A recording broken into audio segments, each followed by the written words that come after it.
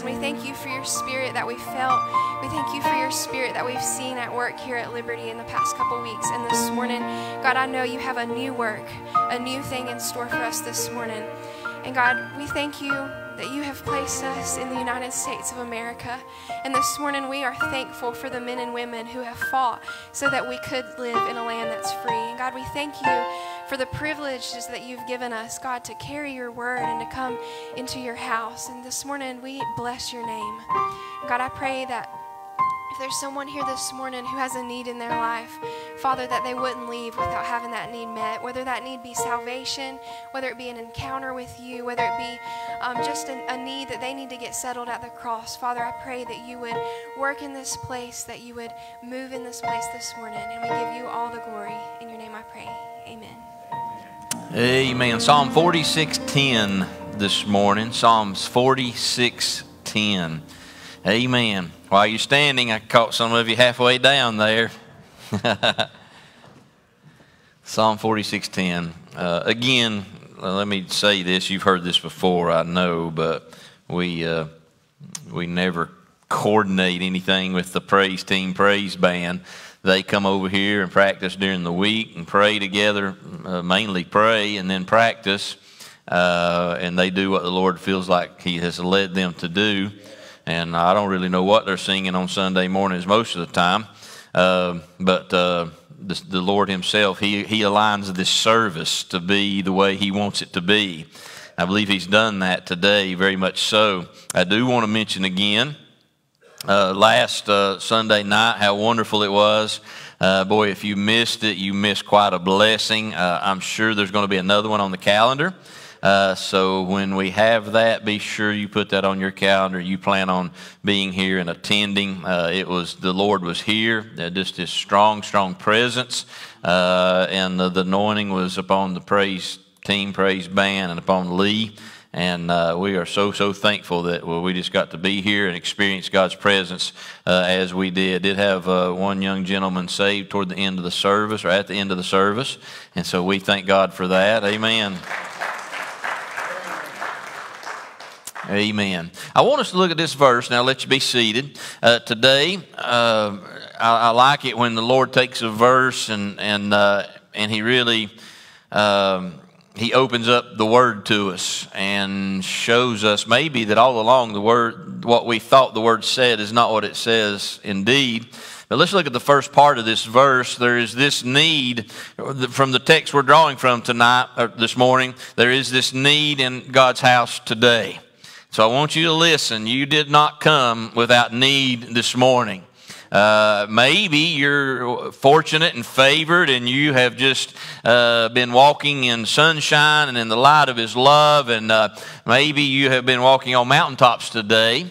Uh, but many that are here this morning uh, have come with need in their life. Yes, uh, you have on your Sunday's best. Yes, you're driving a, a, a vehicle. You've washed it, got it ready for Sunday uh, but still you have this deep seated need in your heart. The Bible says this in verse 10. you know this passage of Scripture, particularly this one verse. That's what I want to look at, or this one phrase I want us to look at. The Bible says, Be still and know that I am God. Be still and know that I am God. You may be seated, and may God add the blessings uh, to the reading uh, of His Word. So, certainly, we, we see that on refrigerator magnets, we see it on bumper stickers, it's in our devotionals. Uh, we, we see that little phrase many, many places. We often quote it, quite possibly, that we need to be still and know uh, that He is God. Uh, and it is a great, great truth in a time when we don't know what it is like to be still. We always have some kind of noise in our life, whether it's the busyness of the day. Uh, a preacher friend of mine was talking to me one time about church attendance, and he was lamenting how that summertime had rolled around at, uh, at that time of our conversation, and he was he was lamenting about how that his attendance had dropped off so bad because once it become summer, everybody becomes so busy, and they just kind of stopped coming to church through the summer months. And because of activities, and he was talking about that, and we were talking about how busy people's lives are, and, and he made a great statement. He said, You know, we, well, we are as busy as we have made ourselves or allow ourselves to be. And that is true. That's, that's very, very true. And so, in a time when we just are surrounded by so much noise, maybe you're one of those people who who you walk through the house. As soon as you get home today, you'll go through the house and grab a remote control and turn the TV on and then lay the remote down and leave the room.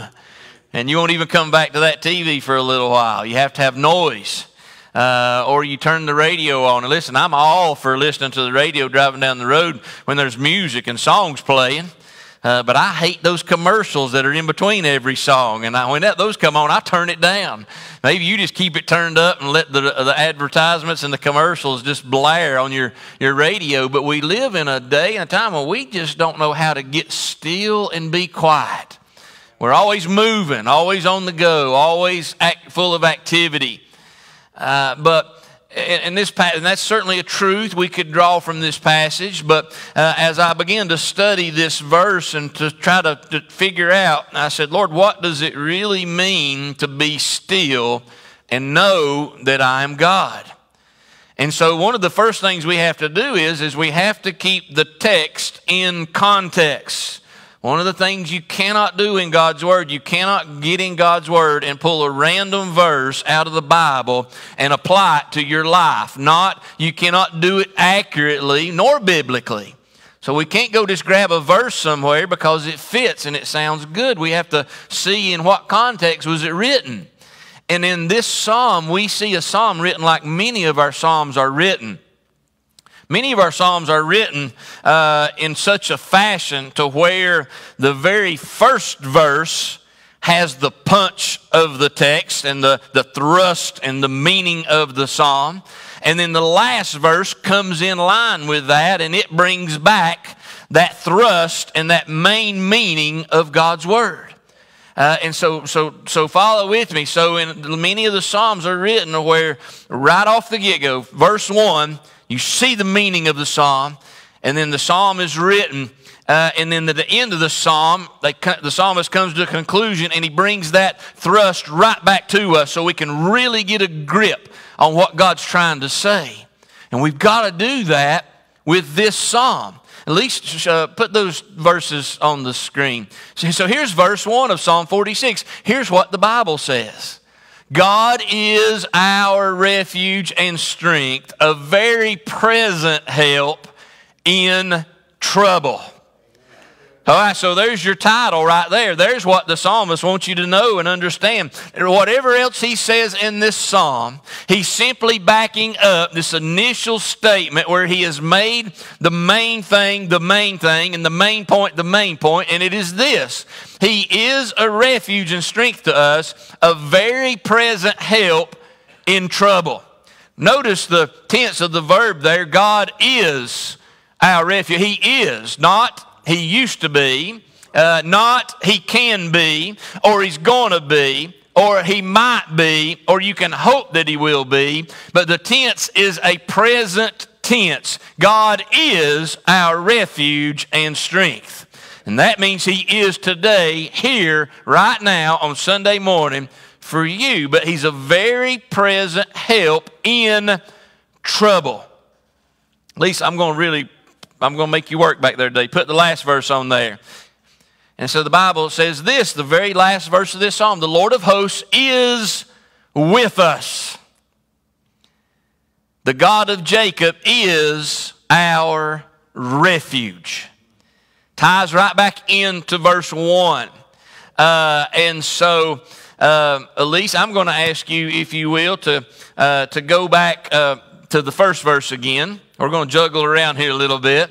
Uh, and so I want you to look at this verse, what the Bible says. God is our refuge and strength. Little has to be said right there. We know what that means. We know that means he, we can run to Him. He will hide us, literally, uh, and that uh, He will strengthen us. Uh, but He's a very present help uh, in trouble. Uh, that word present there, literally, uh, it means you can find him. Uh, if I say that I am present in my office, that means that you can come to my office and you will find me in my office. Well, that word present there, the focus is really on the fact that God is not some God who's hid behind a cloud somewhere. He's not some God that you can never really know or, or talk to or understand, uh, but that He can be found if you are looking for Him today. You'll find Him a very present help in trouble. Now watch this because this this is where this is where it applies to you today and to me. That word trouble there, we all we all know what that means, but maybe we need to clarify it for a snowflake generation that might be listening on the internet today. That word trouble there, what it means is, is it means anguish of soul. It means distress deep down inside of you. Now that'll put things in perspective because there's some people think they've had a bad day if they wake up and it's raining outside. They think life has gone sour and, and things have turned wrong if somebody doesn't wish them a happy birthday text on their birthday. Uh, they just can't get over it if somebody goes by, walks by them and doesn't shake their hand or ask how they're doing today. We have a generation like that today. They, they get their feelings so easily hurt and they think that life is, will never be the same if they wake up and there's a flat tire on their car uh, in the driveway. I'm not talking about all of that because here's the thing. If you have ever had distress or anguish of soul, uh, then you look on those other things as but just a light thing. You don't even look upon those other things. It's just another day and the sun is still going to shine and you're still going to walk in God's favor and God's goodness and God's blessing. Uh, but those things are far removed from deep inner anguish of soul and heart where you have distress deep down inside of you. And so, what the psalmist is dealing with here, he really verse 1 where, where he is using this literary style that makes the main point in that first verse. He is really not beating around the bush. He's really not wasting time nor words. There's only 11 verses in this psalm but he gets right to it and he wants to deal with people who have anguish in their heart, who have distress down deep inside their soul. And I want to be honest and just very plain with you today. We we do live in a we live in very difficult days. We I believe we live in the last days, and I believe. Uh, of course, heaven knows that, uh, but I believe the devil knows that too. The enemy knows that. Uh, and uh, God's people today, I see them enduring more and more and bearing more and more and carrying more and more in their day to day life. God's people are more troubled today than any other time in history, I believe. And there's many reasons for that. And I'm not here to explain the reasons. I'm just here to let you know that if you have deep anguish of soul, uh, if you have that distress that's deep down inside of you, that trouble, uh, that won't give you rest because you can't eat your way through it. You can't sleep your way through it. It takes your appetite, uh, it takes your health, uh, it takes your sleep, it takes your rest, and it takes your peace. So if you're here this morning and, and, uh, and, and, you have that deep anguish of soul, that deep uh, inner turmoil, that deep inner stress, then, friend, listen, this psalmist is writing to you and I. He's speaking to us, speaking to us this morning. If you'll think in your mind already to the songs that was just sung, the words that's been on this screen, then you're going to know that God brought you here for a reason today. That when you woke up this morning, you may have thought nobody else understood you or knew where you were at or even cared about you. But you need to know that God was orchestrating early in this week for this day for you to be here. God is our refuge, our strength, a very present help in trouble. He can be found if you want to find refuge in Him today.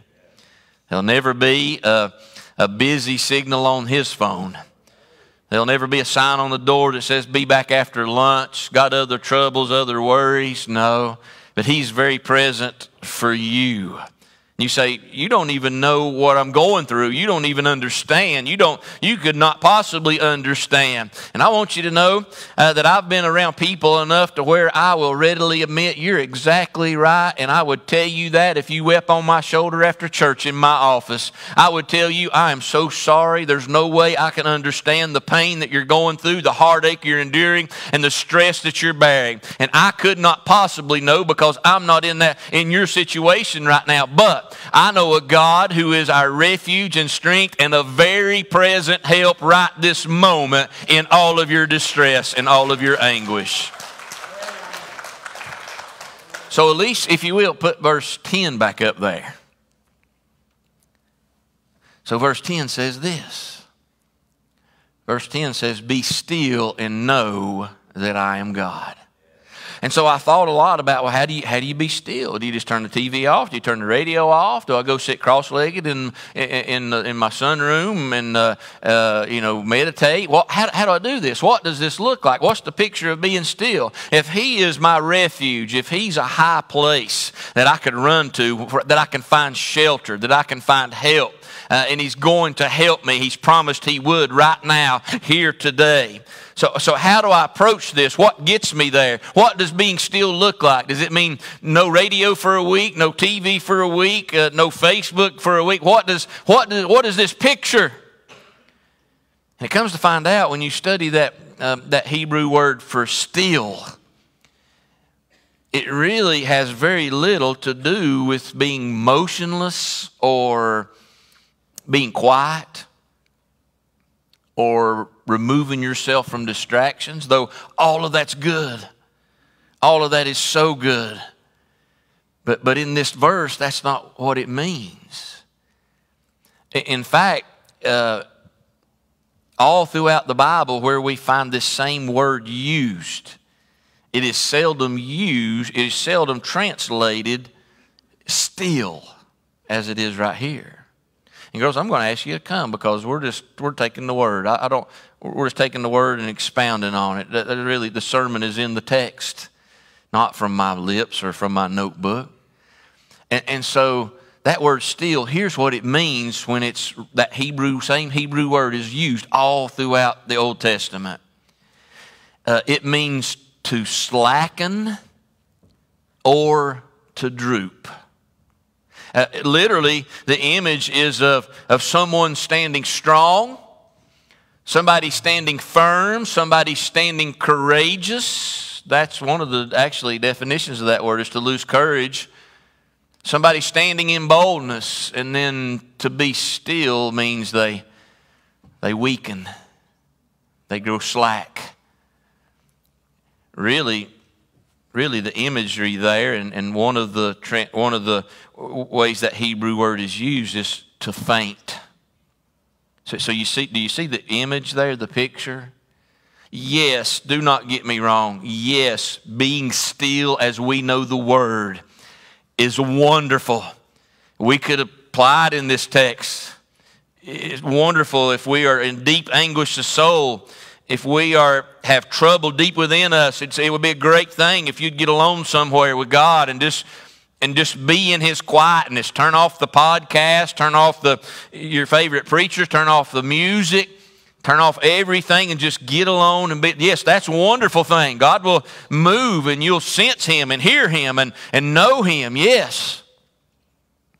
But in this text, the picture is, is, is of someone fainting someone just drooping.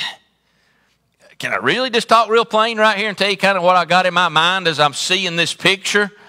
What I see when I see the picture of this word, and I, have studied the definition uh, uh, over and over this morning, but what I really see is this: is that individual in deep anguish of soul. I mean, disturbed deep within them, growing so weak that you just fall before the Lord. That you just lay down before the Lord. That you just collapse before Him. And here's what the Bible says when you and I do that be still and what have, and know that I am God. That word know, it means to experience. It has nothing to do with an intellectual knowledge. but it has everything to do with knowing by experience that He is God. Listen, you can tell me all day long about what it's like to catch big fish out of a certain lake. And be quite honest, I really don't want to hear your stories. Take me there and let me experience that for myself. Uh, you can tell me all day long what it's like to uh, stand and view the Valley of Lights in Yosemite, but that, that really doesn't mean a lot to me. You can declare its, its grandeur and how spectacular it is, but take me there and let me stand and let me see that, uh, that view of God's creation for myself. I want to experience it. And so you can tell me all day long about how God's helped you in all of your trouble, and that's great and that's fine, and I'm, I'm glad for you and I'm thankful for you. But when I'm in my trouble, what I really want, I need to experience it myself. And so, if you will, and I'm hung on this, uh, and I hope I always stay, but if you will, just take this as a promise from God's Word to you on this Sunday morning. And the promise is this is that if you will stoop or slacken or get weak before Him today, the promise is you will experience the truth that He is God and that He is a refuge and that you can experience Him hiding you in the cleft of the rock. You can experience Him being that very present help. You can experience what it's like to find Him in all of your troubles. That's a promise from God's Word. Be still Get weak before Him. Slacken yourself. Grow feeble. Faint, if you will. And fall before Him. And find the promise of His Word that you will experience and know by experience that He is God and He is a help for you in all of our trouble. Oh, my goodness the thing I see missing in our churches today, and I, and I, and I am not knocking praise and worship, don't get me wrong. But we come in and we so worship, we worship praise and worship to such an extent that we forget that there's hurting people sitting around us. There's people that need the Lord. No, not to be saved because they are saved. They're a child of God. But life has brought to them anguish of soul and anguish of heart, and they're, they're hurting deep down inside of themselves. And so, and we, we carry on business as church, and we want everybody to be happy, clappy, and, and, and all of that, and then we'll just dismiss and send them out and expect everybody to stay lifted by that lifting moment. But we've never dealt with the pain that's deep down inside of their soul. Man, listen, I'm telling you right now, there's some folks hurting today. I've been thinking all day yesterday, or last two days really, about a young lady I know who she's only about 14, I think, and she's had cancer. And now they've discovered she has another kind of cancer on top of it. And I've been thinking about that mom and that daddy. That's all I've been thinking about. How every day they're waking up knowing that their little girl has this diagnosis. And I've thought about how their heart's breaking and how they've got anguish deep inside of their soul. Oh, yeah, maybe they have an unshakable faith. I know. It doesn't stop the hurting.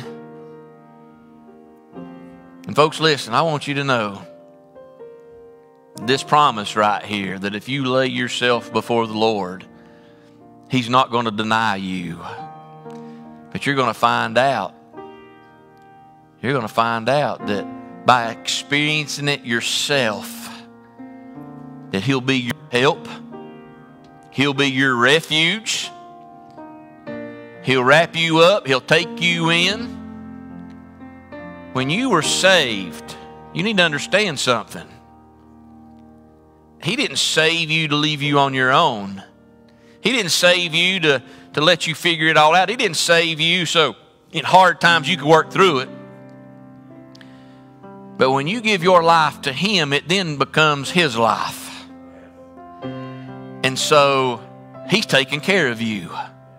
You're His responsibility, you're in His care. He loves you that much And for those of you who would resist the Spirit today, and listen, after the after the uh, the praise team stu- stood and sung and said what they've stu- sung and said, and you've seen the words on the screen, how could you resist or deny what God's trying to do in your own heart and in your own life today? But listen, the Word says this: When I am weak, then He is strong. What the church needs today is not a bunch of strong believers who have it all together. What the world, what the church needs today is some believers who are weak and can't make it without Him so that He can be strong in our lives. Then we can leave this church strong to win the world, to witness to the world. And so, you today, in all of your weakness, in all of your brokenness, that imagery in that word be still, it literally also means somebody who's got hands raised strong, but then they grow weak and they let down. It'll be all right this morning if you left your pew in the back of the church. If you left your pew in the middle of the church or over on the left side or the right side. And you just come to this altar and you just you just laid your hands down. And just confess, Lord, I can't anymore. I'm unable, I'm weak, I'm tired, I'm tried. My soul is weary. And Lord, I just need some rest in you. I need some strength from you. And I need to know, I don't want to hear somebody else's stories, but Lord, I need to know myself that you are God. That word God there, by the way, it's also in the plural. My English teacher would love that I'm about to explain this to you. It's in the plural. It does not mean, it's not singular. It doesn't mean one. Uh, but it, what it means is God the Father, God the Son, and God the Holy Spirit. Be still, get weak, slink, slumber down. Let your hands fall down before Him, and you'll find out from experience just who God the Father, God the Son, and God the Holy Spirit is in your life. No better place can you come today and fall before than a triune God. A God in three persons to surround you, to wrap you up, to take you, to strengthen you, to lead you, to guide you, to bring rest to a weary soul. I know many of you, you'll leave this church today and you'll go home and take a big Sunday afternoon nap. No sin against that. I'm sure it's in God's Word somewhere. If we look, study, and find it, it's got to be there. There's nothing wrong with it. But I want to tell you what you need more than that today is you need some rest for your soul. You can't bear this alone. You can only go so far. It'll be the ruin of you and the breaking of you if you try to do it on your own or if you just try to shun off the help that God's trying to offer you. But He's extending His grace today through song and His Word. And say, if you'll come and just be weak, I'll prove myself strong in your life. He loves you just that much. They're about to sing a song. And when I have you stand before they sing that first word, I want you to make your move and you come. Are you ready? Because He's ready. He's waiting on you. Stand.